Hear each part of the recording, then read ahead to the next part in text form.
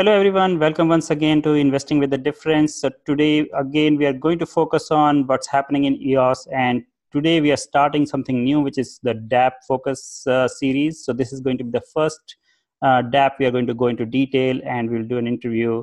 Uh, so, first of all, let me explain you what it's all about. So, you must have heard about Horus Pay. Uh, so, this is a decentralized payroll system uh, and I think most of you got the airdrop. You, if you were on Genesis uh, Snapshot, and uh, it's already trading on a lot of exchanges. So you must have seen this, and uh, we are going to talk a lot about it. But what I want to also focus on is the kind of token economics they are bringing in. Uh, I believe we did a video. We showed you that you can stake your Horus Pay and uh, you can actually earn rewards which is called ecash and that is the ecash system which was introduced by horuspay so let us uh, without wasting any further time let's uh, bring Jarib online and uh, he's the founder of horuspay and he's really doing a lot of cool stuff in eos world. So welcome Jarib to the show. Thank you so much uh, love to be on the show love the channel. I'm happy to be here with you and, and to provide some details about Horus about our token economics. Um, looking looking forward to answer some questions. Sure. So I think, uh, Jerry, I think it's uh, uh, really great to have like uh, such great use cases. Maybe you can start with explaining uh, what got you uh, this idea of using blockchain for something like payroll. So I I I was working as a payroll specialist doing payroll in um, about eight countries and then um, I'm struggling with the middleman. Um, the middleman is strangulating communications. Um, it's not providing any value to a relationship, and then um, is uh, triangulating data where we would send data and the data would not arrive accurately to the payroll vendor, um, or the middleman would uh, transmit another message that w- wasn't what we transmitted um, to to their vendors and things wouldn't be okay and right and things like that. So um, i always knew that um, blockchain will be the solution to eliminate the middle the middleman in payroll mm-hmm. and payroll uh, was a perfect fit for blockchain. Um, it's just like i was complaining all the time why nobody is doing anything? So i you know, I stopped complaining and I was like, if nobody's gonna do it, I'm gonna do it. So yeah, that's that's you know, um, that's how I um, uh, that's how Horuspay you know came about. I uh, quit my job on, on the corporate world and then I jump in um, to to start maturing my project and and that's this is Horuspay now. No, that's great. I think uh, this is exactly, I think everybody is looking forward to, in the sense, really solving real world problems. Um, so I think it's great to hear that you are passionate about something and you have the industry knowledge uh, coming from that background and seeing the problems uh, firsthand and then trying to solve it. Uh, I think uh, we we are very excited about these projects, and this is what we love about EOS community because uh, we have people who are really coming in for solving problems. So, uh, and so, let me ask you why EOS? Like, why you chose the platform, uh, and did you try on any other platform before coming to EOS? Um, no, I I was lucky enough to discover EOS in the early days. So um, I knew that I wanted to do something on EOS um, and then I, I, was I fell in love with um, the speed, uh, the the the feeless transactions, uh, and then I knew that this was if there is a platform out there that is able to scale and then to scale to uh, the masses and to the corporate and then look appealing to to um, the mainstream media, uh, I think is EOS. Um, just because of the feeless transactions, uh, the speed of, of, of the blockchain is able to to um, to deliver. So um, that's exactly what what we needed, and I think um, that Horuspay is in the right time at the right moment uh, in in blockchain history to to um, harvest harvest the power of of this new innovation. I think EOS is the perfect fit. No, that's great. I think uh, we really believe that uh, EOS, because of the way the technology is evolving, uh, it can form the next generation black blockchain where most of the application will move towards it. And i'm glad that uh, you found it early. So let's go back to the token economics because i think that's the most interesting part about horuspay because you have been at the forefront of it by dis, uh, defining i think maybe the first uh, token which is doing a staking. And then a lot of people are following. So i think uh, now you have created a path for people. So let's talk about that staking. And uh, let me again share uh, the screen. uh, to when you introduced um, this uh, ecash so can you talk us through uh, what is this ecash and why do you need to create a new token? So we so we have horus which is the access key to the platform. And um, it also has other other utilities. And then what we're missing uh, the, the missing component to the platform is the, the cryptocurrency that would be a stable cryptocurrency on the EOS platform. So uh, since nobody else has done it, is, is doing it or know that I'm aware of, well, we said let's just um, us take the initiative and then um, create a stable coin that allows me to transfer value um, uh, from from one country to the other, uh, value to employees, uh, and be that crypto uh, currency on on the EOS that is a stable. Uh, so that will allow us um, to, or, or, clients to to make a payroll disbursement and then um, make a payroll disbursement in seconds and then um, not be worried about the volatility of the cryptocurrency. Uh, meaning that we don't want people to transfer Bitcoin and then as um as a payment mechanism as um payroll disbursement, and by the time the employees receive the, their their Bitcoin is twenty percent down. So we want to introduce some stability uh, because it's important for the use case that we're working on. Uh, so we we thought that it was very uh, crucial to have a stable a stable coin on the on the EOS ecosystem that allows to to do the payroll uh, without worrying about the volatility. No, I think it makes a lot of sense, uh, especially when you're talking about payroll, where people are uh, relying on it for their day-to-day expenses. Um, so it's a great idea, and I think uh, we are really excited about it. So let me ask you one question, which I think nobody uh, understands right now. So does it mean when you say it is a stable coin? So that means can it be used by any other uh, project, or this is only tied to Horuspay? Uh, no, it, it is open. Uh, it is open source and it could be used to any other project. Uh, however, it is only minted by staking Horus. Um, so the only way to get eCash is by uh, staking Horus.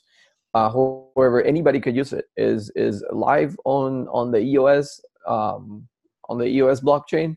So any other project could adopt eCash. Um, All right so if i let's say let me ask a hypothetical question if somebody else says or i love ecash and i want to uh, do the same model and i want to stake my tokens to generate ecash will uh, do you think technically it is possible um, technically it is possible if if it's a, a right partner it is possible um, but uh, we we want to maintain that um, exclusivity in, in, in that case for for horus um, because it's, it's is is all token. So, but I understand. Um, if if there is a strong partner with a very strong use case, um, I might consider. Oh, that's great. No, I think uh, this is great. I think just having a EOS cash because you said it is a stable coin and it will be at some point back to a stable currency. Uh, so that itself is uh, pretty exciting. So I was just getting a little bit more excited that maybe it can be used um, uh, in various projects. Uh, but I think it's great. I think at least because you are going to be very much tied to the day-to-day pay payments to people. I think it's very important. So I did a walkthrough of like you know doing the Horus staking and claiming. So uh, what is uh, the reason that people have to claim it? Uh, is it like you know every week, or maybe can they like claim after many weeks and they will still get the whole uh, e-cash reward, or is it uh, just the per week kind of staking and claiming model? I love the question. That's a question that a lot of people have. Um, it is every week, and then we we were thinking into doing weekly payouts because uh, depending on on the company, some companies pay weekly, other companies pay bi-weekly. So uh, weekly is the is the minimum time window for payroll, and that that was the idea behind it uh, to provide liquidity to our or um, the, the our clients and the employees that they can claim their their tokens. So for now, um, you can claim weekly, or you can let it stack and then claim once a month, once every two months. But we have an incentive now uh, that is a higher percentage on staking. Um, so I suggest that you start claiming your your your eCash um, weekly or bi-weekly at least.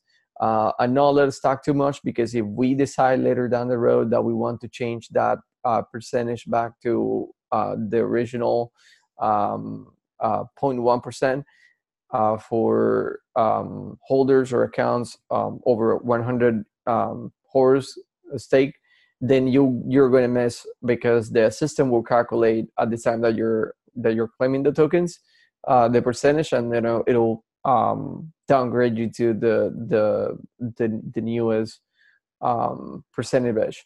However, we, we're thinking into probably maintaining that higher uh, percentage um, indefinitely. So that's something that we're discussing. We're looking into how much uh, eCash is being produced, uh, what is the inflation rate, um, how many uh, token holders are, are staking, and we're looking into all these factors because we w- we also want to produce enough eCash to have a, a an use case and and and have tokens uh, circulating. So uh, we might consider keeping that uh, higher percentage um, we're we're we're discussing that and it looks it's looking really good.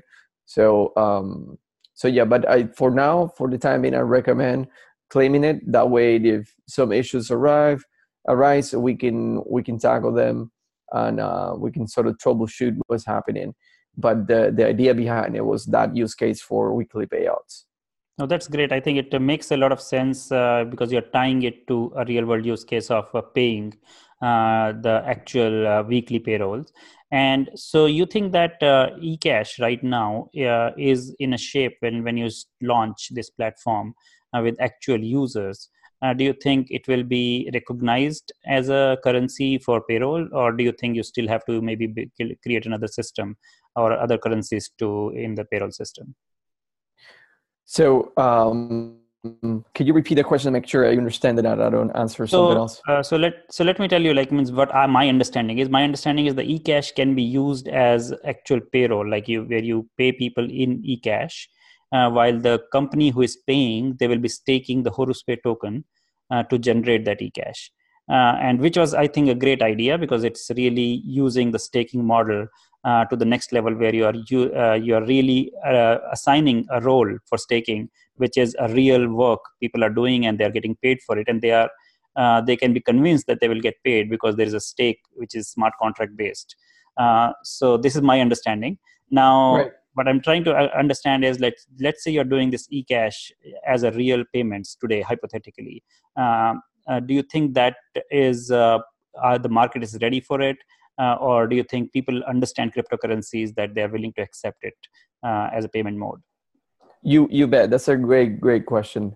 Um, we I, I, live in the us and then uh, for countries that uh, have really good stable currencies um, like in europe if you're under the euro or if you're in canada or in the us you, you don't have too much to worry about. But there are other other countries that they're not as lucky as we are and then they they have currencies that um, are volatile that they have a lot of inflation and then lose purchasing power and they don't gain it back. It's not like bitcoin that would go down 20% but then it goes up again and then you can sell and then you recover your investment.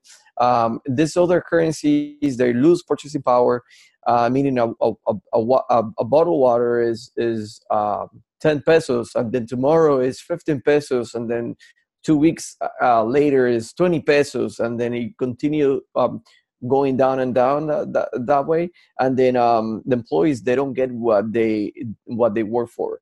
Um, so uh, i've seen in countries like argentina for example that we're processing a monthly payroll. By the time that we're ready to pay the employees uh, they're receiving way less than they should be receiving because of this inflation. So um, so the idea behind eCash is that it will be a stable currency pegged to US dollar that will allow other companies to um, pay their employees um, and then not worry about that volatility factor. So um, that way not only they get what they should uh, be paid but they also have a strong currency that would hold those uh, those market fluctuations um, not only in the crypto but also on the fiat because those happen on on fiat where uh, these currencies are losing value day after day. Uh, so that's why um, so many people in South America they're so interested in blockchain, and uh, there's a lot of people that rather have their their money in in in, in crypto rather than in fiat on, on their on their uh, currencies so that's uh, that's a very interesting perspective actually uh, because we have seen in recent past actually not long back like we have already in there is a currently a lot of economic conditions like in many countries where currencies are just uh, losing value every day. Uh, so are you really um, seeing uh, like a demand from like for this kind of a product immediately? You see that can we see your products deployed and actual uh, HorusPay based payroll systems in next uh, in very near future or you think it's still in early days and a beta stage? Um, i think we we're early. There's no question about that. And there's no problem with being early. Um, my idea is doing the tesla the tesla approach. What is the Tesla approach? So they they do cars that are better, they they're faster, they're um, energy efficient, but they also you know they, they're looking forward for the future. So they want to introduce self-driving cars, and they introduce those cars out there. They put the technology on the cars, and then they start pushing for adoption. Right when you have millions and millions of Teslas on the road, it, the adoption will happen because they have the tools um, um, they have the, the tools already uh, and is, is ready for the adoption. So that's that's the same idea and the same approach that we're having with payroll. Uh, my idea is to provide the tools and start pushing for adoption. Um, where we will provide a, a, platform that is cheaper, it is easier to use, it is um, very affordable, uh, and then we, want to put eCash on, on the pockets of everybody out there. So um, the idea is, for example, let's say let's let's let's mention a really good use case. Uh, let's say that I'm a payroll specialist and I, make a mistake in one of my international payrolls, and then 1,000 employees are not going to get paid um, timely and accurate. So the solutions are, are not good. Um, employees will probably need to wait a week before they get paid um, because I need to correct the, the payroll uh, it needs to reprocess. And by the time that ACH transactions happen, uh, it'll take 48 hours to, to clear, and then people don't eat. So if if I provide the tools where uh, I can make a payroll disbursement in seconds, um, those companies are not going to hesitate in using this tool because the tool is there for them to use. Mm-hmm. So um, once they use it and they see how efficient it is, they probably won't want to come back to to processing payroll with fiat. They probably gonna want to keep it uh, in in in seconds instead of waiting 48, uh, three four days uh, for for ACH transactions to clear when they can send value overseas in seconds. So um, the idea is, is setting those the put, putting the tools out there. Um, we we are still gonna maintain the current system, just like Tesla is out there on on the roads sharing the roads with everybody else we want to maintain the current system so it will support fiat um, uh, or, or, platform would support fiat disbursement where um, the payroll vendor provides fiat disbursement to their clients and they can use our platform to tra- transfer those those those um, encrypted files. And then um, so we're maintaining the same system but we're introducing a better tool that we think that people are going to start using it um, because it's, it's becoming available it's becoming available now no, I think that's a beautifully explained uh, thought because I think um, me coming from California, I see this every day, and I think we I have seen it explode that the way Tesla's uh, ad- adoption has happened, and everybody was wondering like uh, who will really pay that much or who will really uh, use them but you have given a very good analogy. I think it's it's very very important for us to build for future. And uh, it is uh, it's all about the thought. It's about changing the way people operate. Uh, so let's shift gears. I think definitely we are very excited about HorusPay and uh, all the best for the future and we're in this area. And we will keep looking out for it. And now let's shift gears and talk about eos devcon which we believe you have been working on and we are very excited about it. So let me quickly share. Um, so I think we talked about it, and even on our channel, we introduced EOS DevCon uh, in Florida uh, in January. So I think uh, so. What came uh, about? Like, how did you jump into this? Uh, because I, of course, you are uh, doing a lot of great innovation, and you have a lot to share. So how did this EOS DevCon came around?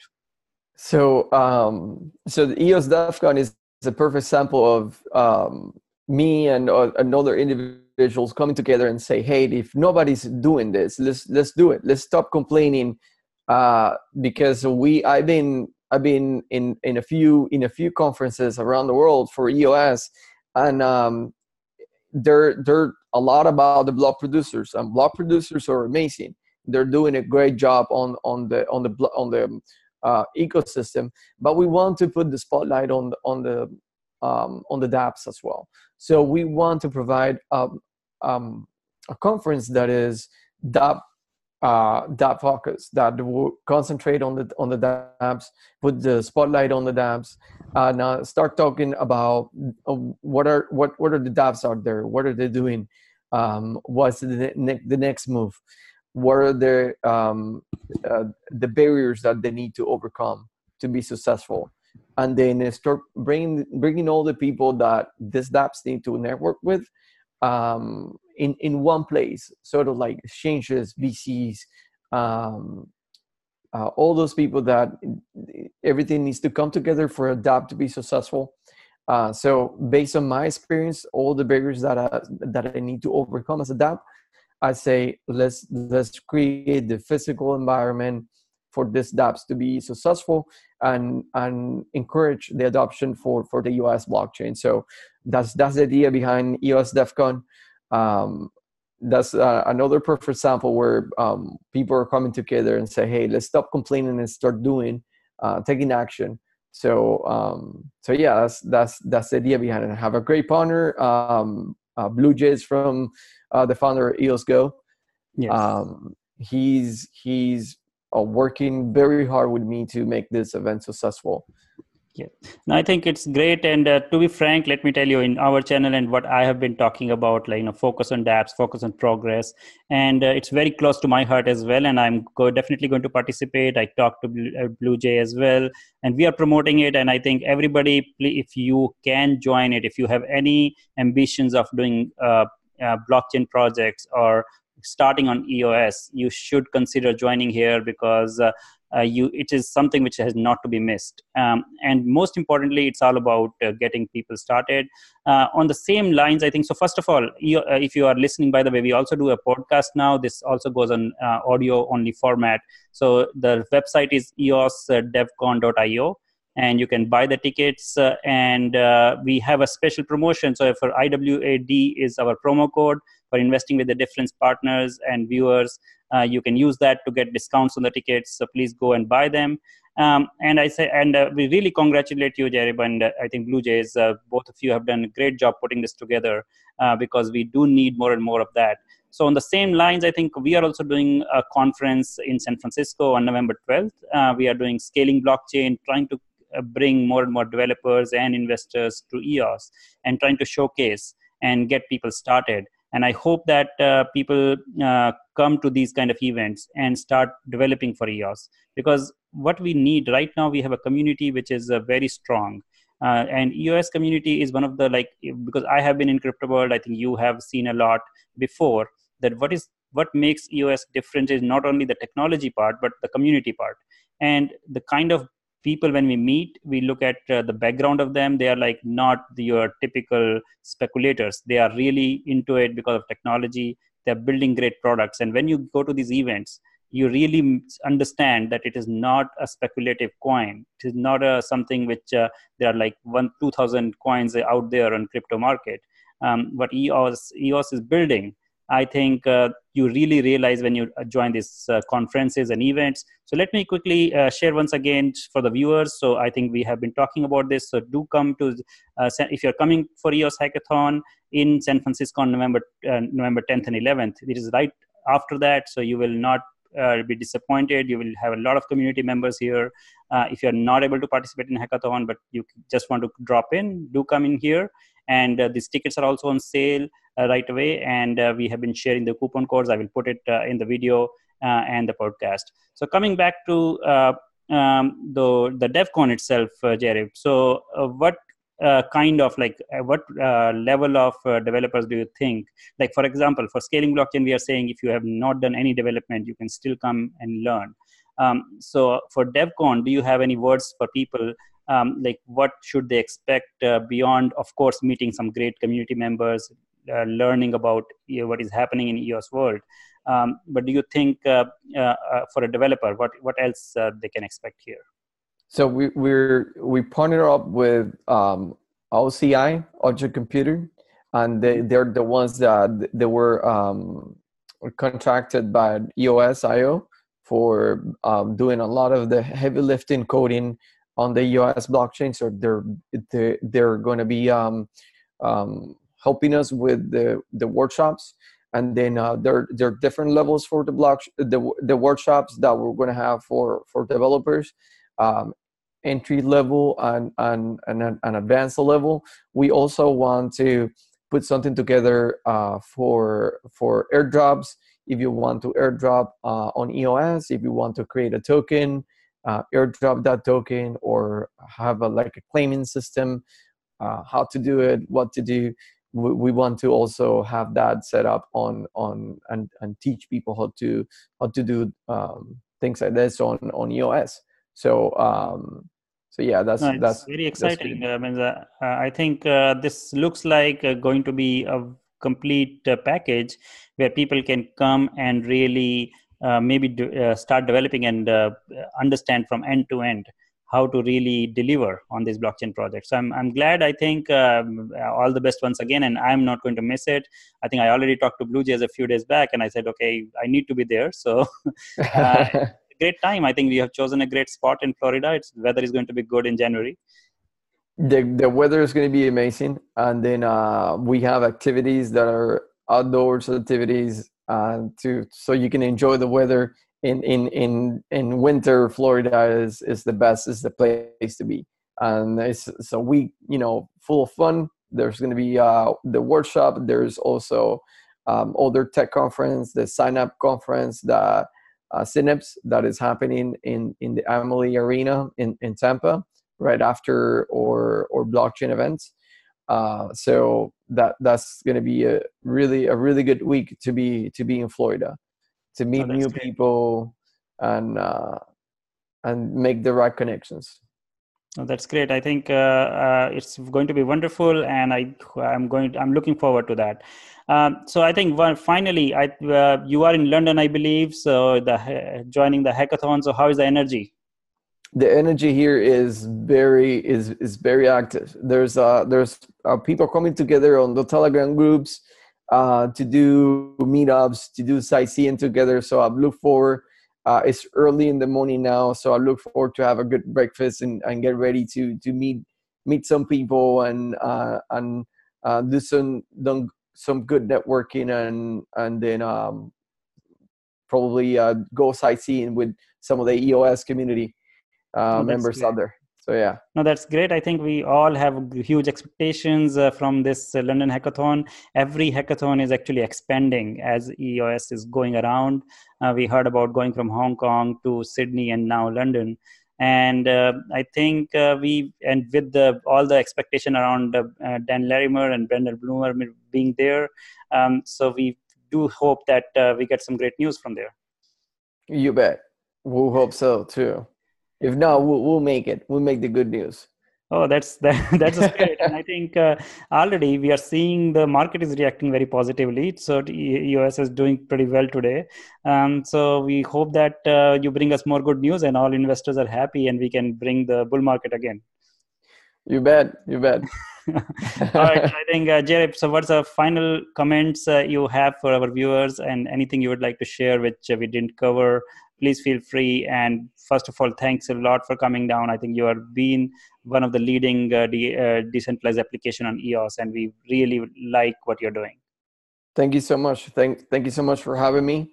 Uh, it is it is a pleasure to be on, on the show on the channel and then uh, I'm, I'm very happy to see the, the the whole industry maturing and um, bringing good projects with with good use case.